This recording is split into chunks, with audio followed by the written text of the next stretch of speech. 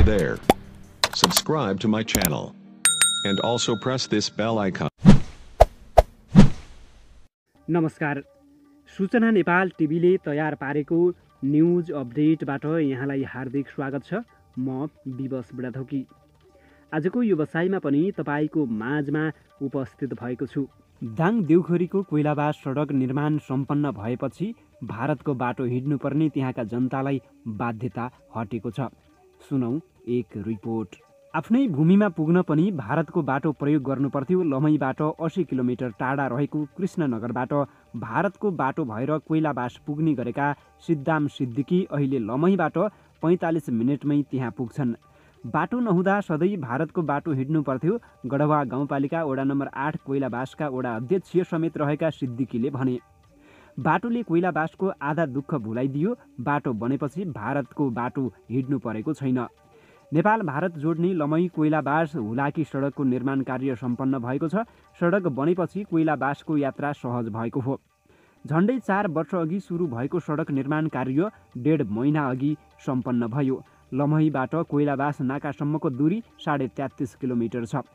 सडक कालोपत्रे भएपछि लमहीबाट पैँतालिस मिनटमा सजिलै कोइलाबास पुग्न सकिने भएको हो। हुलाकी सडक अन्तर्गत पर्ने गढवा बजारको मुहार समेत यही सडकका कारण फेरिएको छ। सडक पेटी रङ्गीन र फराकिलो सडकले यहाँको सुन्दरता बढाएको छ। छ्यासी करोडको लागतमा सडक निर्माण कार्य सकिएको निर्माण कम्पनी कुमार कालिका जीवीका साइड इन्चार्ज राजेन्द्र श्रेष्ठले जानकारी दिए। सडक कालोपत्रे र निर्माणको सबै काम सकिएको छ। पहाडी क्षेत्रमा पुरिएको नाला सफाइको काम भने चलिरहेको छ। श्रेष्ठले भने दुई देश जोडिने सडक निर्माण गर्न पाउँदा हामी पनि खुसी छौँ। सन् दुई हजार सत्र जुनबाट सडक निर्माणको काम थालिएको थियो।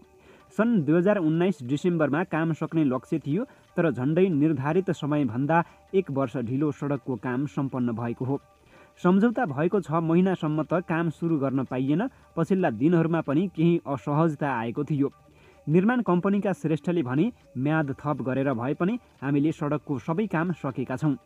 सडक निर्माण सम्पन्न भएको दुई वर्षपछि मात्रै सरकारलाई हस्तान्तरण गरिनेछ।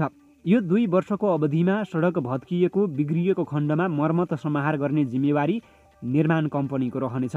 दुई वर्षसम्म मेन्टेनेन्सको जिम्मेवारी हाम्रो रहन्छ। दुई वर्षपछि यो सडक सरकारलाई हस्तान्तरण गर्छौँ श्रेष्ठले भने। सडक बनेपछि धेरै नयाँ अवसरहरू पनि हामीले अहिले नै देख्न थालिसकेका छौँ। आर्थिक विकासको लागि यो सडक उपलब्धिमूलक बन्नेछ लमहीबाट कोइलाबासको दूरी साढे तेत्तिस किलोमिटर मात्रै हो। लमहीबाट कृष्णनगर अस्सी किलोमिटर टाढा पर्छ। लमहीबाट नेपालगञ्जको दूरी एक सय पच्चिस किलोमिटर छ। प्रदेशको राजधानीबाट सबैभन्दा कम दूरीमा पर्ने नाका कोइलाबास रहेकाले कोइलाबास सडक र नाका दुवैको महत्त्व बढेको गढवा उद्योग वाणिज्य सङ्घका अध्यक्ष रविलाल आचार्यले बताए। कोइलाबास भन्सारसम्म त बाटो बन्यो तर भारतको कस्टम अहिले पनि पैँतालिस किलोमिटर टाढा बलरामपुरमा छ। त्यो कस्टमलाई सिमानाको नजिकै ल्याउन जरुरी छ आचार्यले भने।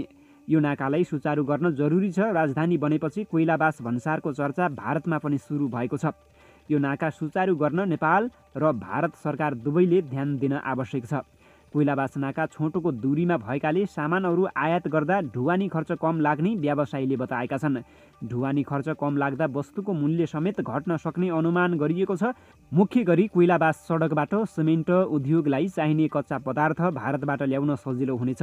केही दिन अघि मुख्यमन्त्री शङ्कर पोखरेलले कोइलाबासको स्थलगत अवलोकन गरेका थिए।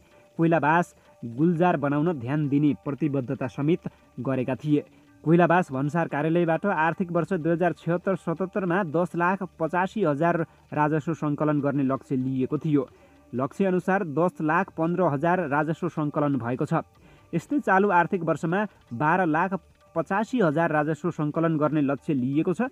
लकडाउन भएपछि कोइलाबास भन्सारबाट राजस्व सङ्कलन हुन सकेको छैन। साउन र भदौमा मासिक पाँच पाँच हजार गरी दस हजार मात्रै राजस्व सङ्कलन भएको थियो। सडक निर्माण गर्नुभन्दा अगाडि सडकले अधिग्रहण गरेको जग्गाको मुआब्जा जग्गा धनीले पाउनुपर्ने हो। तर लमही कोइलाबास सडकसँग जोडिएका केही बस्तीका जग्गा धनीले मुआब्जा पाएका छैनन्। सडक निर्माण सकिएपछि पनि उनीहरूलाई सरकारले मुआब्जा अझै नदिएको हुलाकी सडक सहयोग समन्वय समितिका अध्यक्ष बेसराज पाण्डेले बताए। सिम्रहवा बोधिपुर कक्रहवा र कोइलाबासका नागरिकले मुआब्जा बुझ्न बाँकी छ उनले भने यसबारेमा हामीले सम्बन्धित निकायमा ध्यानाकर्षण गरिरहेका छौँ।